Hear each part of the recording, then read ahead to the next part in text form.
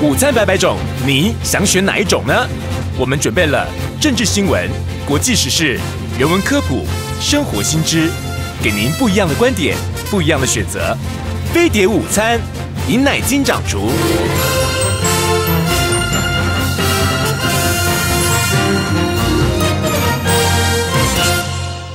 警告！十秒钟后即将登陆地球，快拿起手机下载全新飞碟 APP，接收地球大小事。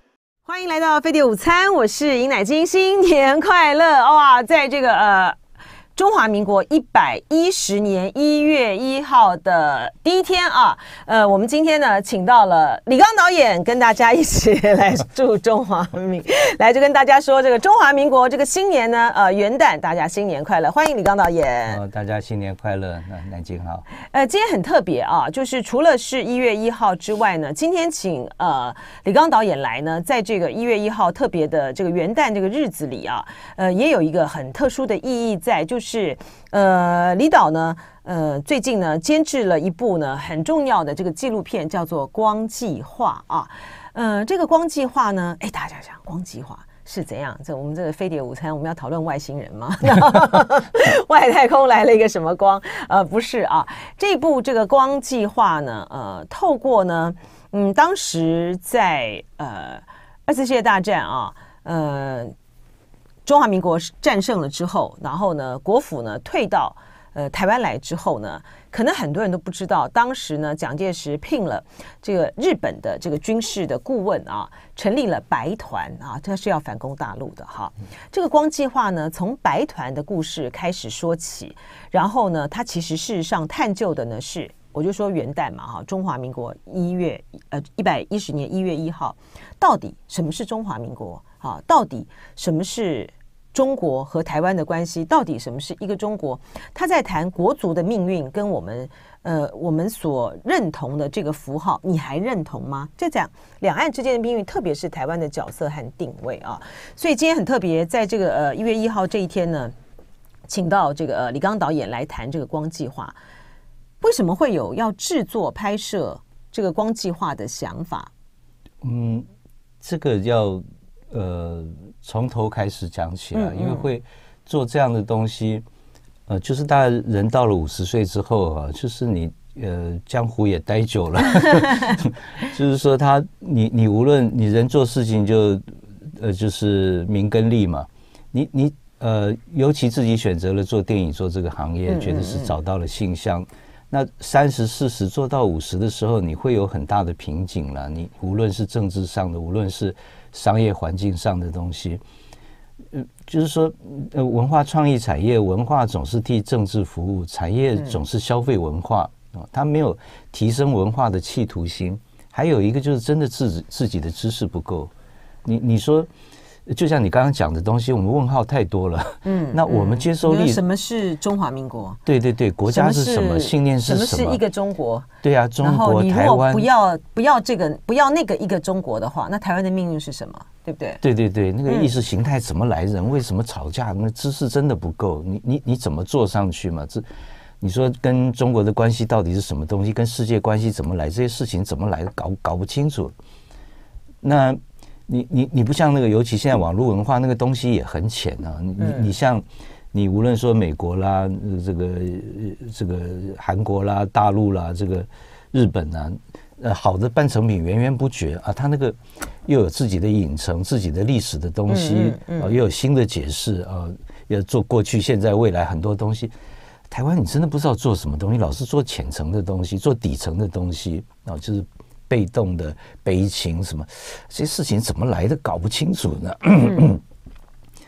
那尤其到了五十岁，你自己不只想拍给人家看，你自己有太多的问号，就像你讲的国家啦、家庭啦、生这个生命啦、存在啦，这个你有你有更多的问号的。那加上那个政治的环境啊，就是因为我们接受历史都是都是呃政党给我们的，都是被简化的东西。就是你你你你太要找答案了，我我我都已经五十岁了，就是台湾，你像雾峰跟雾社都搞不太清楚。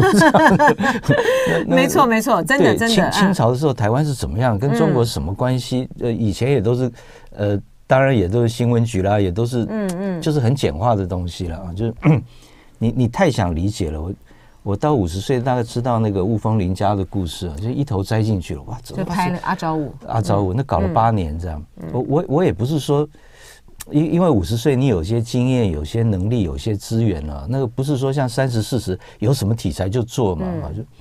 你你到了五十，这个你你你想坐上去啊？就是我讲老是底层的东西，老老是看不到上面东西。那个贵族哇，原来贵族他们是台湾是有贵族的，他是主动的，呃，就是他也加入到中国核心的东西，那个那个冲突的东西，哇，那个太有趣了。还有很多的世界，你譬如说左半边的世界，就是这这个完全被国民党、民进党完完全洗掉。我我老觉得台湾的历史那个。国民党不讲，民进党乱讲，这样子。你说中国大陆这边，对，就是那个，你共产党这个这块东西，你你全世界分裂，左右分裂，那个中国就是国共嘛，台湾也是一样，台湾的文学分裂。就就是他思思想的分裂嘛，你你到底是要平等还是要自由？左边的社会就是平等的，它不是，它是被那个资本主义、民进党、国民党妖魔化的东西啊，那它不是这么回事的。嗯，当然制度有它的问题，那是另外一回事。可是当时一半的人是不要被压迫、追求自由的，呃，追求平等。主义、社会主义，对社会主义啊，无政府主义，这是往左边。右边就是资本主义嘛，这物竞天择，适者生存嘛。有钱人谁跟你平等嘛？就是川普的逻辑嘛。你走到头就是。所以说，您就是说，在这个五十岁之后开始去思考这些问题，是呃，不管是台湾自己的历史，是国族的历史，两岸的历史，是就想要做一个更更深更上层。对我自己要找答案，那它会是一个什么形状？我我也讲不清楚。我就是想说。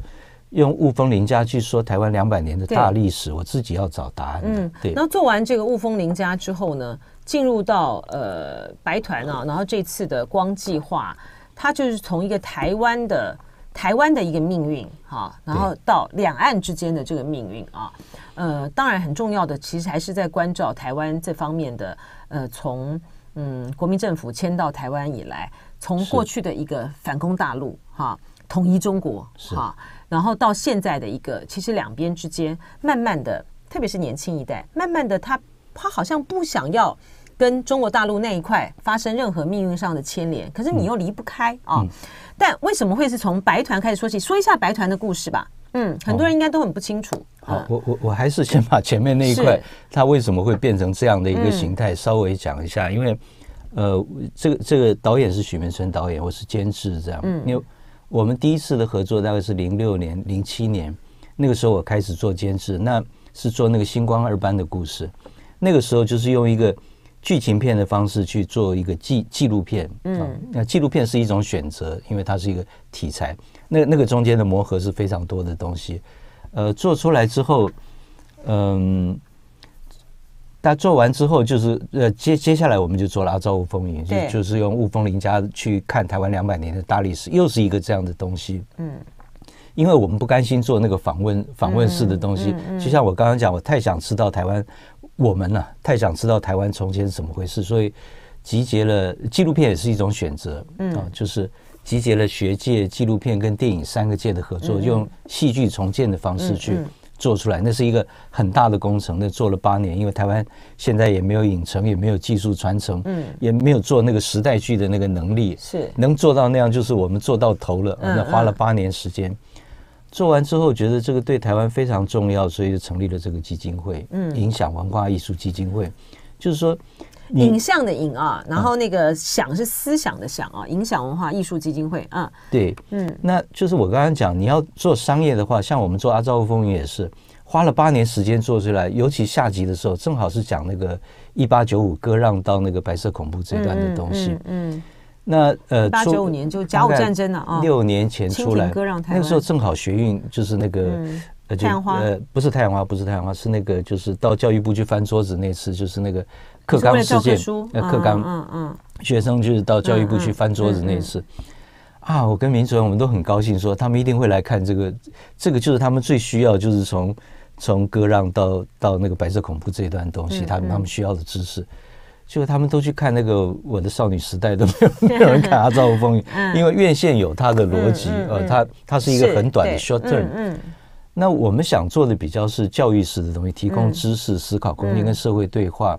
所以觉得那个东西在商业上是走不通的。纪录片基本是，它它应该是反商业的东西，它不是我做发行也做二十年了，是的，它不该是这个路去做的啊，所以你要打破这个东西，那你要领政府补助，或者你要去得奖，它有意识形态或者你个人观点的东西，呃，我们就不想做那个这样逻辑的东西，那个套路我们其实非常非常的熟，所以成立这个基金会。对，那基金会一开始的时候，第一年我们有四个四个案子啊，就规划了四个案。呃，光计划是最早开动的，最晚完成，因为它最难做，因为越近的历史越难讲。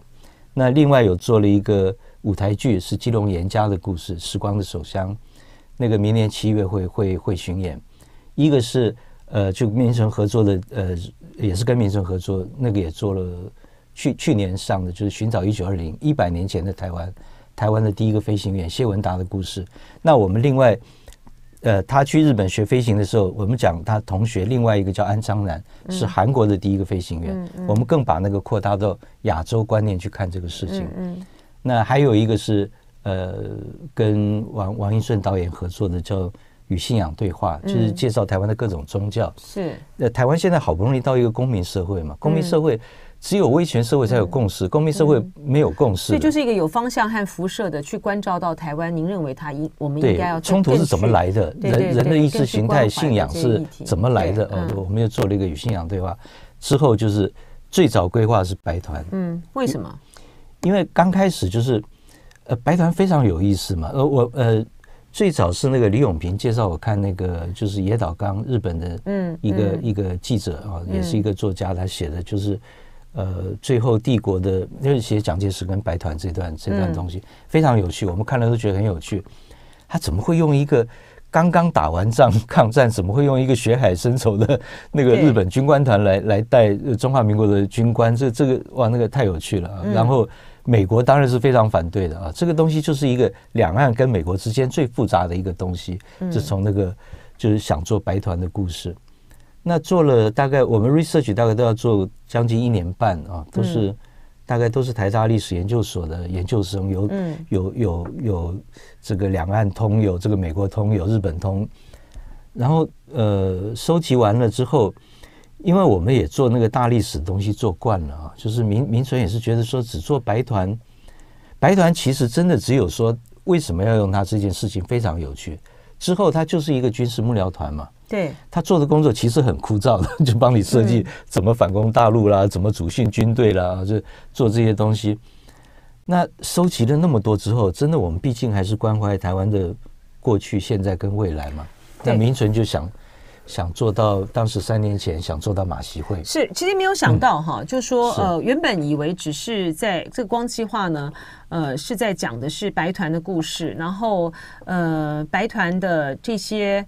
呃，日本的到台湾来这些士官兵啊，因为他们的嗯小孩啊，他们的这个后代，他们每一年还有一些仪式啊，是来去呃追寻他们父亲过去这个时光，而且这个显章会是，而且这个是一个特别呃非常特别的一个一个历史，就是历史是一个你很难用一个直观的去判断说它的是与非啊。嗯，你看蒋介石呢，呃，率领这个国军打败了这个日本，这个日本。清华的这些日军啊，可是后来呢，特别是因为呢是冈村宁次，好，日本的这个冈村宁次，他和何应钦，何应钦呢是在日本战败之后呢，接受日本投降的中国方面的将领的代表，啊，他们两个商议出要成立一个，要成立一个这样子的一个组织，哈，就是他们签了一个协定，然后由他由日方呢。来协助台湾，因为台湾要退到台湾要退到呃，就国民党要退到这个呃台湾来了，来协助台湾在台湾打造一个呃军事的一个顾问团啊，协助来训练台湾如何的反攻大陆。所以这个是一个很荒谬、很特意、很特意的一个历史的一个情境啊。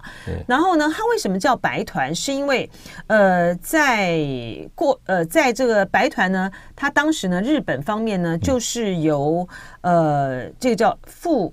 叫富田直亮啊，叫富田直亮来负责。那他的化名呢叫做白洪亮，所以叫做白团。他们全部全部用中文名字是化名，他叫做白洪亮啊。然后呃，当然这里面牵扯到很多的呃纠葛啊。然后这个纠葛呢，呃，就是像刚才呃李刚导演讲的啊，美军顾问团他也在这个台湾啊，然后呃那时候就是中华民国跟这个美国还有邦交关系嘛，然后中间呢又经历到韩战啊等等之类，美国呢并不想要蒋介石去反攻大陆呀，啊，那所以呢这个这个问题就变得更复杂了啊，然后从反攻大陆讲到七十年来。呃，中华民国之定位哈，汉与大陆之关系，这就是这个光计划的最重要的这个主轴。我们要进一段广告，广告之后呢，回到飞碟午餐的现场，继续访问李刚导演。李刚导演最新监制的纪录片《光计划》啊，现在呢在进行公益演出。呃，一零就是一百一十年啊，这个今年啊，呃，最近的场次啊，就是一月十六号、一月二十三号到一月三十号，在台北国宾的长春路的这个国宾呢，有这个放映啊。同时呢，也希望呢，有更多的呃这个企业界啊，关心呃两岸问题、关心中华民国命运的呃个人也好、团体也好啊，都来赞助啊这个播出，透过一个。呃，赞助播出，然后公开讨论的方式，让我们在这个呃中华民国一百一十年一月一号元旦这一天的时候，思考我们台湾的命运。进广告，马上回来。欢迎回到飞碟午餐的现场，我是尹乃金。今天呢，呃，我们请到李刚导演，在这个一月一号元旦的时候呢，谈李刚导演最新监制的呃纪录片。光计划啊，欢迎大家呢到脸书的影响文化艺术基金会。影啊，就是影视啊，电影的影响呢是思想的想啊，影响文化艺术基金会去查询这个光计划呢，它在三创啊，然后在这个国宾长春馆呢，呃都有公益场的演出啊，然后呃播放，然后同时呢。在呃光点台北啊也有讲座啊，我刚才提到的呃三三创也有讲座，三创也有讲座，一月十六号、一月二十三号、一月三十号啊是是在这个台北这个国宾呃就国宾的台北长春啊呃在三创也有啊，但详细的呢就请大家呢到这个影响文化艺术基金会的脸书的网网站上面呢去查询啊嗯。在过去的几场的公益的演出的时候，其实都爆满啊。呃，观众的反应呢和讨论呢都非常的热烈啊。显然，大家对于嗯我们自己的前途命运、两岸关系的呃关切呢是很深的啊。特别是有很多的呃年轻朋友呢，呃也去看观看啊。我觉得这个这点呢是特别特别重要的，因为我们的未来就在你们手手上。对对对，就是两岸之间的问题，呃。下一代、下下一代，呃，恐怕没有办法，不知道有没有办法拖到下下一代啊。但是在现实当下的时候呢，它就是我们时时刻刻在面对的问题。呃，在这个光计划谈这个白团，但为什么从从白团这个反攻大陆的这件事情，反攻大陆能不能反攻大陆啊？因为那个时候的这个中国毫无疑义嘛，哈。呃，我们在联合国呢，也是由中华。民国呢，代表这个呃中国啊，在联合国，我们是缔约国，一直到一九七一年退出联合国为止啊。就那个之前两蒋时代的时候，中中华民国就是代表这个中国，这个毫无疑义的，民众也没有疑义啊。对呀。然后，所以为什么会从白团的这个故事延伸到这边来？本来就是就想要做这样的故事吗？还是本来只是想把白团的故事讲？开始是白团，后来真的是衍生到我们自己想要知道为什么？为什么？为什么会这样的触发？就是说，你觉得这个问题不是那么单纯？对你真的就是会会回到你最原始的问题：中华民国跟台湾跟这个整个东西，我们就把这个。呃，从白团这件事情，把这七十年爬梳清楚，这几个重要的事情，跟两岸的关系，跟美国、跟日本之间，那个东西非常非常复杂，是不是？就是说为什么日本要帮助这个蒋介石反攻大陆？对，呃，美国呢，明明呃明明就是在这个台湾呢，跟中华民国有邦交，然后可是他却不让蒋介石反攻大陆，哈。对，然后美国在冷战的思维是什么？他来保护你、协防你，其实他是限制你，他就怕你反攻大陆这样。就说这个，这是一个两岸是一个两冷战之下的一个格局。是，不，你你要回到从前，你从七十年前开始讲起哦，因为他他那个时空跟现在真的是位置高度是完全不一样。他他来台湾，中华民国到台湾呢，有他的偶然跟他的必然，因为他来真的是一个偶然，他是一团乱的时候，在打仗的时候，那。讲来的时候，你无论喜欢他或者是讨厌他，他毕竟就是跟罗斯福、丘吉尔那个斯大林在一起的人物嘛。那个是一个中国受了几几百年的屈辱，这个几千年不几千万人的生命换来的一个高度，那是多惨烈的战争！这样，他当然呃之后就是国共内战嘛。这个二战完之后，就是日日本打败之后就就开始国共内战。那内战当然在最后战败到到台湾来嘛，台湾还不是他首选呢，他原来还在云南哪里在在寻找这样，所以他到台湾来是一个偶然。台湾不小心变成就台北变成中国的首都了，这是一件很意外的事情。你像日本人建设你，你只是日本的一个卫星，而不像不像他是一个中国打了一团仗之后就就会变成是呃代表呃他来中华民国政府那是代表中国嘛。他是中国的首都，他带了人才物力，这个这个黄金呃军队来这边，呃又给你建设了几十年，这是一件意外的事情。那他来的时候是，他是呃从中国看世界啊，然后他是他对台湾是中央对地方，嗯。啊，他是同一套宪法，他跟日本人不一样，日本人还是三一法六三法，你还是一个呃次次等的一个，他他那个位置是不一样，嗯，他当然有他的。就是对中央对地方的一个呃，他来的时候还是八部六会什么东西，它是一个帝国跟农业社会概念。对对对，我们是把一个中国大陆整个那么大的架构塞到这个台湾这个小岛地方。而且还有一个荒谬的事情，它虽然虽是美国的傀儡，可是它它也是联合国的创始国，所以它是五个会员国，就是当时那个同盟国是五个战胜国，怎么分配这个世界？它是那个五个强国在在联合国，它能够在联合国。代表中国二十二年已经是一件奇迹了，对。那可是毕竟他他代表的是中国。那到后来二十，我们那个人片子里面有有讲到，就退出联合国那个时候，你你一个当时只有一千多万的人口，你怎么代表世界四分之一的国家嘛？这国力也在消长嘛。你中国大陆它就是那么大，世界上也不是只有美系国家，所以当时真的就是，呃，你说汉贼不两立。那人家也是汉贼，中国大陆也是汉贼不两立啊，就是他不不容许两个中国嘛，所以你必须必须要退出。那退出之后，那所有发生到现在会发生的每一件事情，它就是必然嘛。嗯，你你回不去了嘛，你没有办法代表中国嘛，你你这个论述讲不通了嘛。嗯，那可是现在呢，虽然说这个呃。呃呃，虽然说那个角度完全换了，变成中国的角度在看，不，台湾的角度在看这个中国跟世界，可是你已经不是这个高度了。我们要跟世界理念相同的国家对抗中国，呃，世界上有理念相同的国家吗？没有这回事情，你已经不是当年那个位置了。那台湾到底该怎么办？这这个大家要思考。我我很喜欢导演在那个片子里要用一个星系的概念去讲台湾，那我就。这呃，地球跟宇宙是一样的，这不同的星系，它可能爆炸了，引力失衡了。那行星小的行星，它就要去找寻一个更大的一个一个一个引力嘛，它要它有它的轨迹嘛。那台湾在这个地球这个星系来讲，它它它做不了恒星的，它的能量质量。你你如果一个行星要做恒星的事情，那你得像北韩一样，你把那个原子弹做出来，大家大家一起灭亡。那你你要搞这种东西。不可能嘛？那台湾从前在大航海之的时候，之前是没有意义的。呃，我正好又是念航海系，你你要想到当年那个呃那个海就是就是太空了。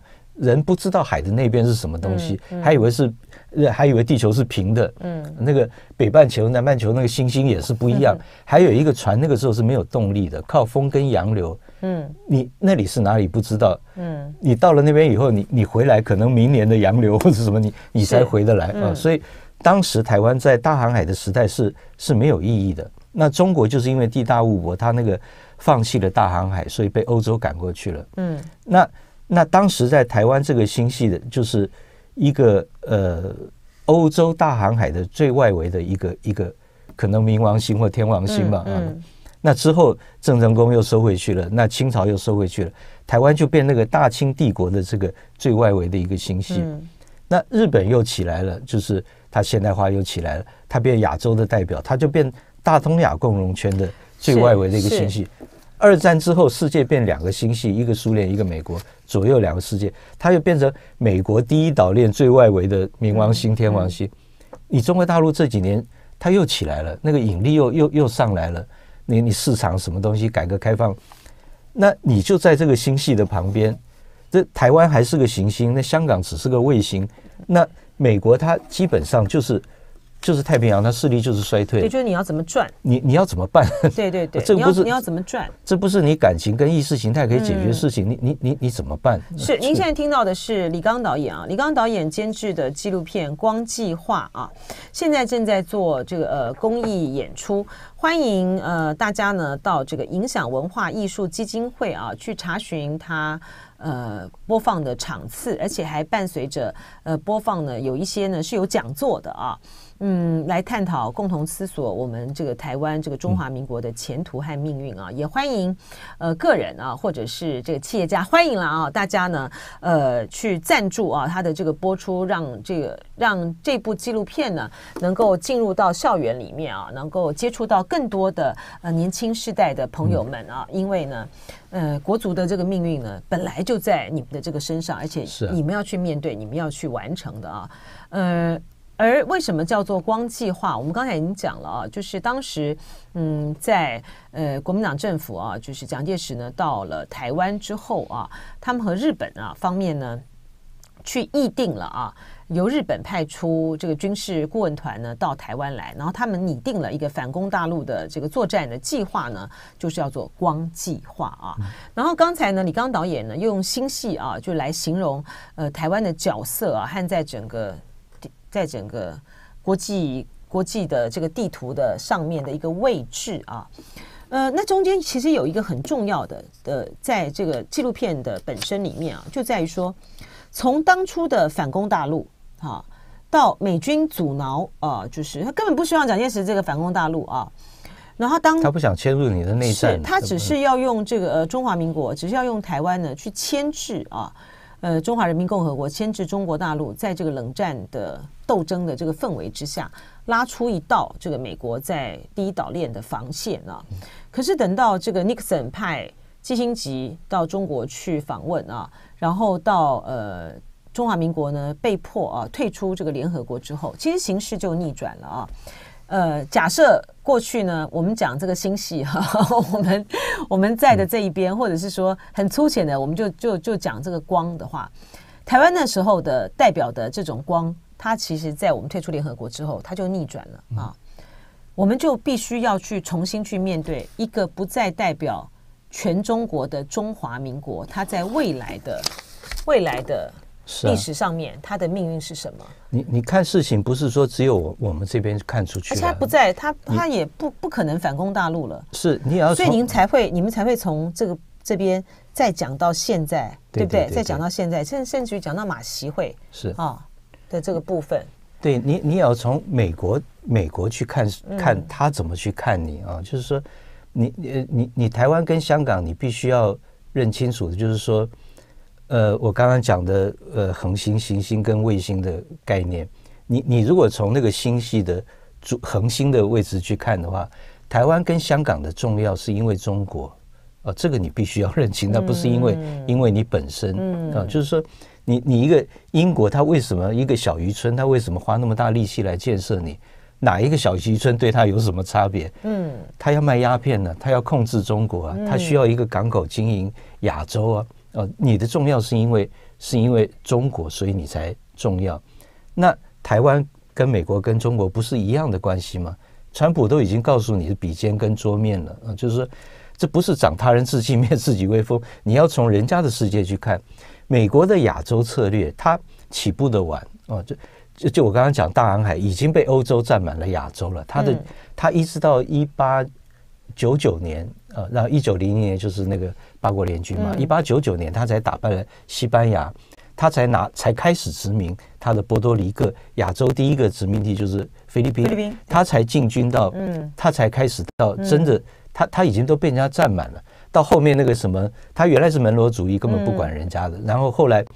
到那个什么，呃呃，尼尔逊那个什么民族自觉，嗯嗯，也没那么好心了。就是说，你们叫自觉之外，要回到我的系统，对，都是利益了。对，都是利益。他他亚洲呢，他需要一个稳定的、友善的，就是亲美的一个政权吗一个政权。你是谁？I don't care。老师对他来讲，所以。呃，你你他在那个就是第二年就是那个八国联军嘛，八国联军之后他就呃对你非常的好，呃就是庚子条款那个赔款还给你医院呢、清华大学啦什么东西，他需要经营一个对他友善的、长远的关系，包括中国的内战，包括什么东西，基本他不牵涉你内战，可是他要希望他在后面也是要要维持一个稳定的一个政权，所以到国共内战的时候，他只是调停，他根本不介入你的内战，是那到最后。他他绝对不是为了民主自由，嗯，他如果为了民主自由，他四十年前会跟当时的铁幕中共去建交，嗯嗯，就是说他他也需要一个中共政权，呃，谁都好，对他各有各好。你你即使是一个共产政权，他也希望像一个迪托，像那个南斯拉夫那个，就是说他是反反苏联的，呃，有一个这样的一个。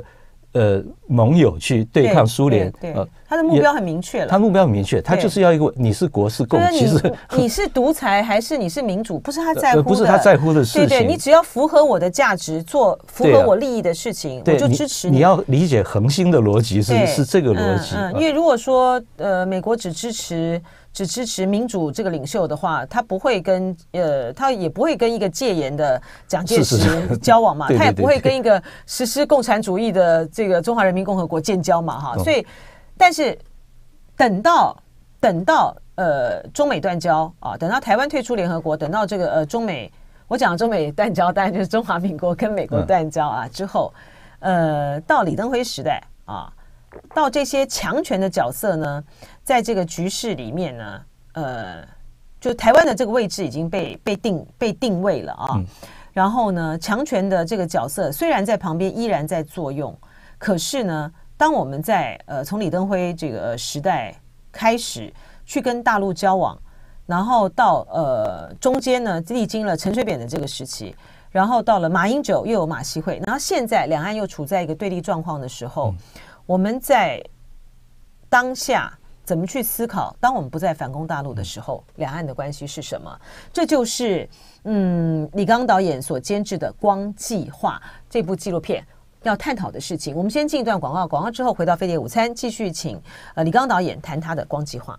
欢迎回到飞碟午餐的现场，我是尹乃金。今天我们请到呃李刚导演谈他最新的呃监制的纪录片《光计划》啊。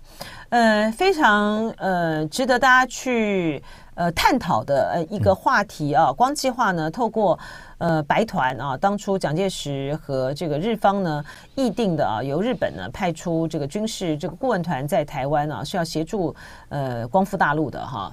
台湾在光复大陆，反攻大陆哈，光复大陆的啊，那当然大家知道没成嘛啊。然后这些，因为在然后之后呢，台湾的呃立台湾的角色在国际的角色地位变化，两岸关系上面中国大陆的角色关系的变变化，然后现在呢走到这个。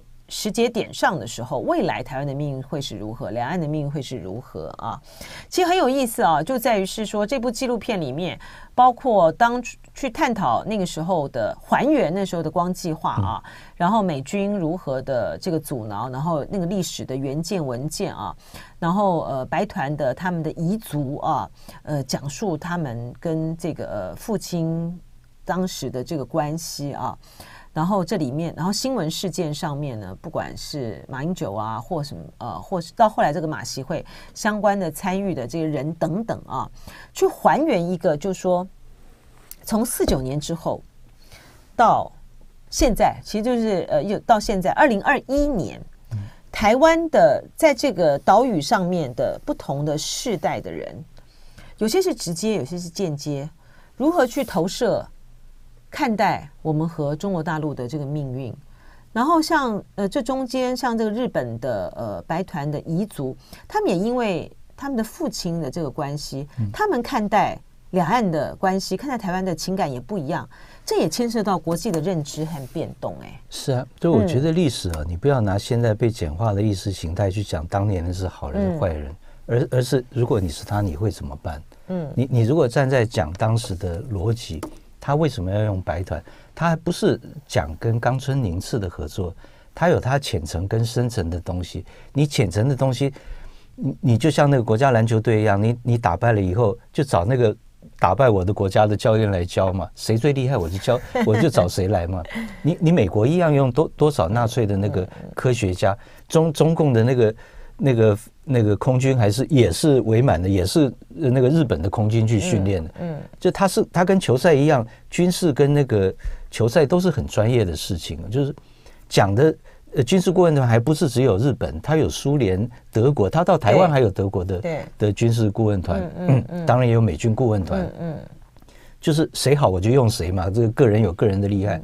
那浅层就是这个这个道理了，就是人中国的军队其实当时都是抓兵，都是文盲，他真的不现代化，所以才会被人家欺负。嗯，那那讲授的那个训练又是从从日本来的，他那那呃。你在深层来讲，他不是只有讲跟冈村宁次这个，他他是一个国家的合作，因为日本在反攻跟抗俄这两件事情跟蒋是一致。嗯，当然以德报怨，心理上，你你日本日本那个军呃军人，你战后也不能做军人，他也被边缘化，他待遇又好，什么加上以德报怨，他心理上是是很愿意的。军人也只会打仗，是他专长。然后在国家上。日本最大的敌人其实是苏联呢，中国他还不是对手。是没错，因为不管是地理环境各方面都制度上，它是最反共产制度，它就是天皇跟财阀的结合，它最反的就是共产制度，所以反攻跟抗俄这件事情上是一致的，这比较深层。那我们刚刚在讲为什么叫光计划，光就是当然第一个反攻大陆计划就是光计划。那导演明纯，我们也是想用光这个概念去讲这件事情。电影啊，就讲我拍电影来讲。电影就是在黑暗的背后的那些人去做的一个假象。嗯，光要你看什么就是什么，镜头能装的东西也有限。呃，就是镜头装的东西，然后最后怎么剪接，根本是一个操控的一个假象。电影就是一个诈骗集团做出来的东西，这你看到所有东西都是假的。我们也用这个概，就是你讲，当然在台湾当时前面的那段时间是他在控制光源，可是。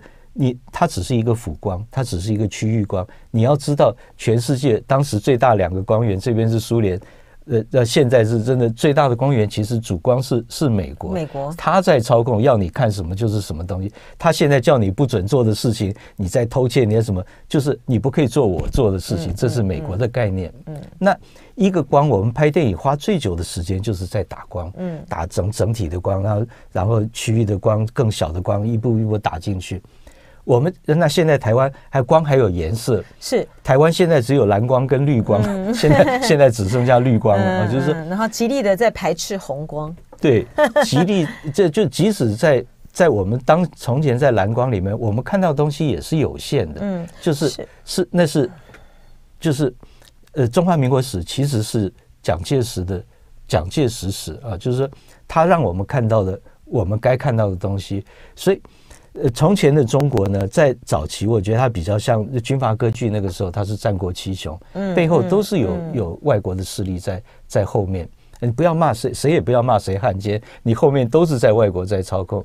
那日本人没想到这一仗把中国给打统一了啊，就是说，你你你到呃后来的时候，只剩下就是。呃，就是你要知道，当时在抗战的时期，中国是有三个中国的，是它各关键就是说，我们看到的只有一部分，它有中华，就是中华苏维埃人民共和国，那是在延安的，呃，那那个是日本在后面。就是说，关键就是说，在现在啊，当我们已经不在这个反攻大陆的时候，我们到底，您希望大家透过这个纪录片啊，去思索的是一个什么样的台湾的未来？我我们没有答案，真的，我们只是。提供知识、思考空间跟社会对把那个历史脉络梳理清楚。你要知道，公民社会不会有共识，大家成长、记忆、情感是不一样的。嗯，台湾未来怎么样，那是一个理性的事情。可是你必须要知道，我们把七十年的大事件把它爬梳清楚，影响到台湾未来的东西背后的光源是什么东西，把这个整理清楚。你必须要知道，要不然你真的没有资格讨论未来，因为你没有知识，你不能躲在网络后面去去。因为一个没有标准答案的东西，你要去用政治力去简化，你只能取得暂时的解释权，你会累积更深层的仇恨。台湾现在就是不停的在政治跟媒体跟网络的简化，是去累积这个负能量，大家根本没有理理性讨论的空间。嗯，这个非常非常重要，大概没有人会花那么多时间去整理，也也不为民跟为利，就是整理出来。请请大家去思考吧。公民社会，大家说话要有知识的，大家说话要负责任的啊，就是我们希望提供一个这样。你看多少的家庭，这现在的选举父子失和，这个这个两代那个看的真的很难受，这样大家都都其实都是在有限的光知识里面去意识形态，嗯。你真的把那个格局拉大一点，去去看看那个光源的背后是什么东西？嗯，大家冷静的思考。是一个呃历史呃纵深呢横跨七十年的纪录片《光计划》啊。呃，公益场还有呃相关的这个讲座呢，欢迎大家到这个影响文化艺术基金会的脸书啊粉丝团呢去寻找，也欢迎呢呃所有的人呢来赞助啊这一部的这个电影，让它有更多的呃朋友呢可以观看啊，然后共同的来去思考我们的未来。再次的谢谢李刚导演，谢谢，谢谢。即使你以为你很清楚的蓝光跟绿光，你也不清楚，你看到的都是被抹掉很多的东西。去看，然后来讨论哈，谢谢李刚导演。谢谢，谢谢，谢谢。